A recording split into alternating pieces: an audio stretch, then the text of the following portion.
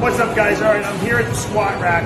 A lot of people I have asked me about squatting. I have clients that are complaining, you know, that they don't have the leg development they want. There is a, way, a proper way to squat.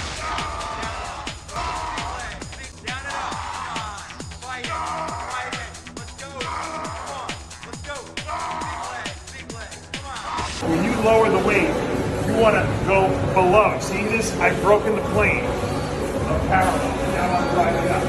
Also, when I lower the weight, I'm lowering it under control, and that's very important as well.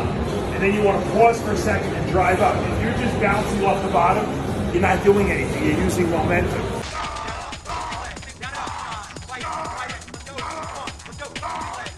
I balance the weight. I sit on my heels. I open my stance up wider than shoulder width. Very important too, because you're not going to activate those inner thighs otherwise, those adductors. And when I lower the weight, I, I, I pause at the bottom and I drive up.